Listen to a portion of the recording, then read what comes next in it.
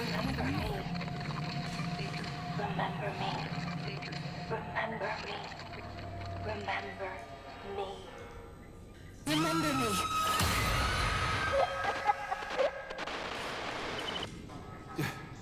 What the hell was that? Charles? I don't know what you mean, Comrade Major. The chirper you found is broken and silent.